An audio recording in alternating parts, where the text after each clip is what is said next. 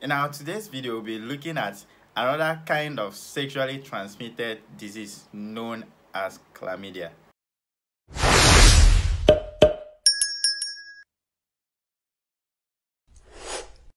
Chlamydia is a sexually transmitted disease which can be contacted sexually through vaginal sex, anal sex, or even oral sex.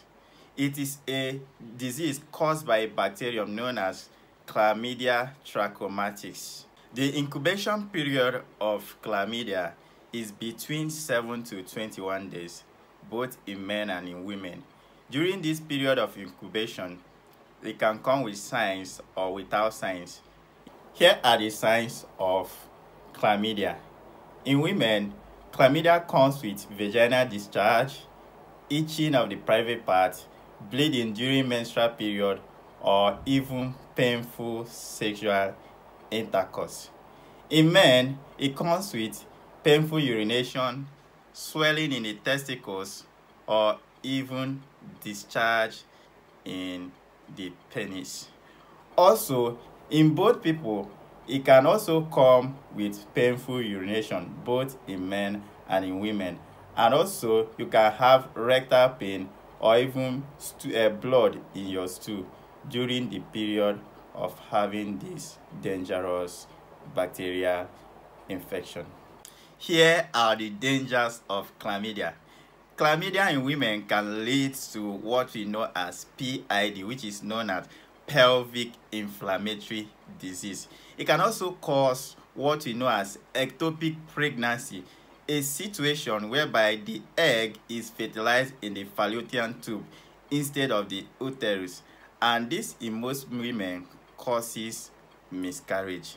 Then in men, chlamydia can lead to what we know as prostatitis a situation of inflammation of the prostate gland.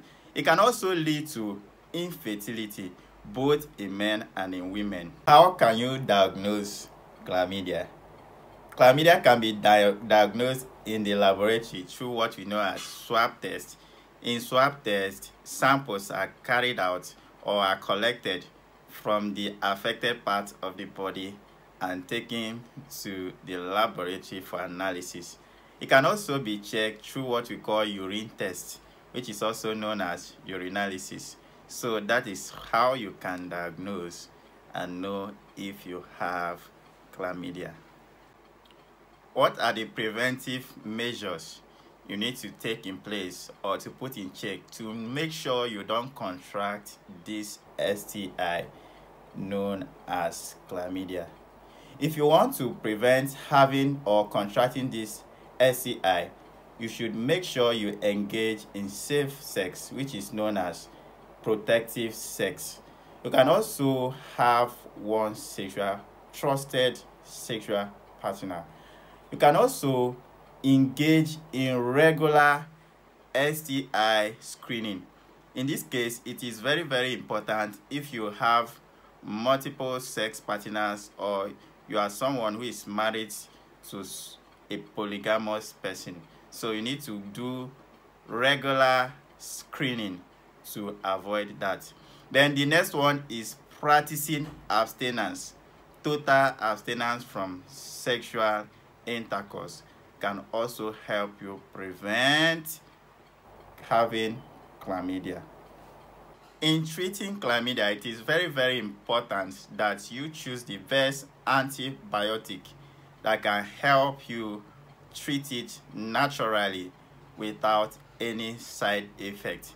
That's why in Wellness Tribe Nutritional, we provide you with the best natural antibiotics that can help you treat this infection uh, without leaving any traces and without giving you any side effect as it is safe, naturally made, and 100% safe without any side effect. Get in touch with us. Click the link under the, this video to get in touch to know how you can secure this natural remedy for you and also boost your immune system. See you in our next video as you enjoyed it. Don't forget to share, subscribe, like and comment on this video. thank you very much for engaging in this video see you in our next video